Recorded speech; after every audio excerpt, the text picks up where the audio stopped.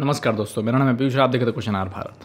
पाकिस्तान के सिंध में वो सिंध जो भारत के जनगण मन का एटलीस्ट तो हिस्सा है ही अभी, और कभी भारत का भी हिस्सा हुआ करता था पूरा का पूरा पाकिस्तान, और जोग्राफी पे जाएँगे तो भी बहुत दूर तक बात जाएगी, खैर। वहाँ पे पूजा कुमारी ओढ़ नामक लड़की, हिंदू लड़की को कन्वर्ट करने की किडनैप करने की कोशिश की गई उस कोशिश को वो नाकामयाब करना चाहती थी, उसने भागने का प्रयास किया और उसको सड़क पे सरेआम गोली मार के उसकी हत्या कर दी गई। हत्या करने वाला व्यक्ति उसको कन्वर्ट करना चाहता था, इस्लाम में, और फिर उससे विवाह करना चाहता था। और जब उसका अपोज किया लड़की ने तो ज़ाहिर सी बात है, एक ही रिज़ल्ट निकलता है डेथ अब आपको लग रहा हो कि क्या ऐसा हो गया? तो लाइक और शेयर ठोक दीजिए, महाकाल का दबाकर लाइक और शेयर ठोक दीजिए, पाँच हज़ार लौटे दिख जाना चाहिए। ये चार हज़ार के लिए मैं यहाँ पे नहीं खड़ा हूँ।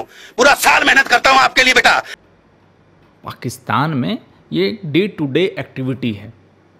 जब भारत का वो हिस्सा था तो वो पाकिस्तान सिर्फ़ इसलिए मांगा गया था कि यहाँ के कुछ लोगों को, बहुत बड़ी तादाद के कुछ लोगों को, हिंदुओं के साथ रहने में आपत्ति थी।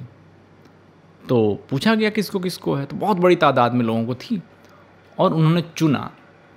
जैसे आज के लोग कहते हैं ना कि हमने चुना कि हम यहाँ रहेंगे तो वैसे ही उन लोगों ने चुना कि हम यहाँ नहीं रहेंगे, हम यहाँ रह नहीं पाएँगे, हमें अलग जगह चाहिए। आज के सिनेरियो में अगर आप देखें टेक्निकली क्या होता है तो अगर आप कहीं नहीं रहना चाहते हैं तो आप उठ के चले जाते हैं। आप ये नहीं कहते कि हमें उसी जगह, अपने ही हिस्से में से वो जगह हमें दो। नहीं, ऐसा होता नहीं है। देश के कॉन्टेक्स्ट में ऐसा होना नहीं चाहिए। और हो भी नहीं सकता, आज के देश में कोई ट्राई कर ले। आज की डेट में कोई कह दे कि हमें इस पर्टिकुलर रीजन में पूरा वो लैंड अपना चाहिए। जैसे साउथ से कई बार आते हैं कि क्रिश्चियन लैंड घोषित कर दिया जाए, द्रविड़ लैंड घोषित कर दिया जाए। तमाम चीज़ें कही जाती हैं क्रिश्चियन कम्युनिटी की तरफ़ से कहा जाता है। कई बार एक बार मैंने इस पर वीडियो भी बनाई है। और कई बार इस्लामिक क्लरिक भी कह चुके हैं कि हमें एक अलग सेपरेट कंट्री चाहिए तो ऐसा होना नहीं चाहिए। इस बात को रखने से मेरा ये मतलब था कि पाकिस्तान हो, बांग्लादेश हो, अफ़गानिस्तान हो, इन जगहों पे डेमोग्राफी बदल चुकी है। यहाँ पे हिंदू ना के बराबर हैं। हिंदू जितने भी हैं उन पर प्रताड़ना होती है। और ये जगह कभी भारत का हिस्सा हुआ करती थी। और आज इस्लाम का हिस्सा हुआ करती हैं। टेक्निकली देखा जाए तो कि भारत की धरती पर जब इस्लाम का कब्ज़ा हो जाए तो वो अफ़गानिस्तान, पाकिस्तान, बांग्लादेश और तमाम ऐसी जगहें बन जाती हैं, जहाँ पे इनका वो सेकुलरिज्म नहीं चलता जो सेकुलरिज्म इनको भारत के अंदर चाहिए होता है। जो कॉन्स्टिट्यूशन उन्हें यहाँ चाहिए होता है, वो वहाँ पर निगलिजिबल हो जाता है। तो ऐसे ही वहाँ हुआ और ये पहली घटना नहीं थी। और ऐसी घटना भारत में भी बहुत पहली नहीं है। यहाँ दिल्ली की घटना है कि एक लड़के को, हिंदू लड़के को, मुस्लिम लड़की से प्यार हो गया था। तो लड़की के माँ बाप ने मिलकर ही लड़के को जान से मार दिया। जब लड़की शादी कर लेती है या फिर बेवकूफ़ बन जाती है, लव जिहाद हो जाता है तो लड़की कटी हुई पाई जाती है सूट केस में पाई जाती है। ये दोनों तरफ़ हो रहा है। ऐसी घटनाएँ आपको बांग्लादेश में मिलेंगी, ऐसी घटनाएँ आपको बंगाल में भी मिलेंगी। तो ये सब कोई आम बात नहीं है, दुख की बात सिर्फ़ इतनी है कि यहाँ जो नेता जात पात की पॉलिटिक्स करते हैं, पूजा कुमारी ओढ़ता है कि लोअर कास्ट से आती होगी। मुझे ये सब कास्ट वाइज इन्हें अलग से सेपरेट नहीं करना चाहिए, लेकिन यहाँ जो लोग लोअर कास्ट की पॉलिटिक्स करते हैं, दलितों की पॉलिटिक्स करते हैं, पिछड़ों की पॉलिटिक्स करते हैं, उनको क्यों नहीं इस बात की चिंता है? कि कहीं ना कहीं कोई हमारे जात वाला प्रताड़ित हो रहा है। अब अगर इसको एक अम्ब्रेला में देखें तो हिंदुओं को, यहाँ के हिंदुओं को आपत्ति क्यों नहीं हो रही है? इंडिया को as a nation Hindu nation उसको आपत्ति क्यों नहीं हो रही है? क्योंकि यहाँ किसी व्यक्ति को सो कॉल्ड जय श्री राम के नारे पे मार दिया जाता है, ऐसा कहा जाता है, अफवाह फैलती है बस। इसकी पूरी सच्चाई ये नहीं है कि सिर्फ़ नारा लगवाने के लिए मार दिया गया। वो बात यूएन तक पहुँच जाती है और हिंदू कम्युनिटी को बदनाम किया जाता है, भारत को बदनाम किया जाता है। लेकिन पाकिस्तान में जो हो रहा है, जो दिल्ली में हो रहा है, जो भारत में हो रहा है, जो बांग्लादेश में हो रहा है, अभी हाल ही में मंदिर पर अटैक हुआ, कितना किलिंग विलिंग सब कुछ हो रहा है, दंगे हो रहे हैं। इस बात पे पूरी ग्लोबल कम्युनिटी शांत है। क्यों? क्योंकि भारत को ग्लोबली एक हिंदू नेशन रिकोगनाइज नहीं किया जाता है। दुनिया में अगर कहीं क्रिश्चियन देश है तो सबको एक्सेप्टेबल है और बहुत सारे हैं। दुनिया में कहीं इस्लामिक कंट्रीज़ हैं तो उनका एक पूरा ग्रुप है, बहुत बड़ी आबादी में है फिफ्टी सिक्स पता नहीं कितने हैं तो उन्हें भी एक्सेप्ट किया जाता है उनके रिलीजियस कंट्री के बेसिस पे।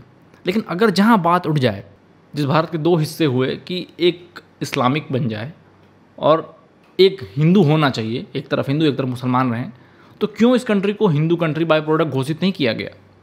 बाय नेचर ही हिंदू कंट्री बाय नेचर ही हिंदू राष्ट्र है। उसी पॉइंट पे ये हिंदू राष्ट्र बन गया, जब पाकिस्तान एक इस्लामिक नेशन बन गया। टेक्निकली भी लॉजिकली भी, और होना भी यही चाहिए। जिस दिन ऐसा होगा तो इंडिया भी जब आवाज़ उठाएगा हिंदुओं के प्रति तो उसकी सुनी जाएगी। और अभी क्या एक सेकुलर पैजामे में बंधा हुआ है और लोग इसका फ़ायदा उठाते हैं। मैं चाहता हूँ इस लड़की की बात दबनी नहीं चाहिए, ग्लोबल लेवल तक जानी चाहिए, क्योंकि यही अमेरिका अभी हाल ही में उसने म्यांमार में रोहिंग्या मुसलमानों के साथ जो हुआ, उसको एक जेनोसाइड रिकग्नाइज़ किया है। और कश्मीर में जो हुआ इतनी पिक्चर बनने के बाद ग्लोबली प्रमोट होने के बाद प्राइम मिनिस्टर तक ने प्रमोट किया, उसके बावजूद अभी तक इंटरनेशनली या अमेरिका द्वारा जेनोसाइड रिकॉग्नाइज नहीं किया गया। ये कैसा पाखंड है? ये कैसी पॉलिटिक्स ऑफ़ अपीजमेंट है? मैं चाहता हूँ जो जनता देख रही है एटलीस्ट वो अपनी आँखें ना बंद करे शुदरमुर्ग की तरह अपनी गर्दन ज़मीन में ना गड़ाए, सच्चाई से ना भागे और यूनिटी दिखाए और पाकिस्तान, चाहे जिस इस्लामिक कंट्री में हिंदुओं के खिलाफ अत्याचार हो रहा, बेटियाँ मर रही हैं सिर्फ़ अपने हिंदू होने पे मर रही हैं, अपने हिंदुत्व को बचाने के लिए मर रही हैं, कन्वर्ट ना होने के लिए मर रही हैं। क्या भारत में रह रहा हिंदू समाज यूनिटी दिखा के उनके लिए स्टैंड नहीं ले सकता? क्या प्रोटेस्ट नहीं कर सकता? कहा जा रहा है कि उसको अरेस्ट कर लिया गया है, जो सज़ा होगी होगी, पता नहीं क्या होगी। लेकिन वो पाकिस्तान है। आपको क्यों लगता है एक घटना के बाद दूसरी घटनाएँ नहीं होंगी? और हिंदू वहाँ बचे ही कितने हैं इन सब घटनाओं के लिए? आप अगर आज कुछ नहीं करेंगे तो परेशान मत होइए, कुछ टाइम बाद ये होना ही बंद हो जाएगा, क्योंकि ऑटोमेटिकली वहाँ वो लोग बचेंगे ही नहीं प्रताड़ित होने के लिए, क्योंकि सब तो मुसलमान हो जाएँगे।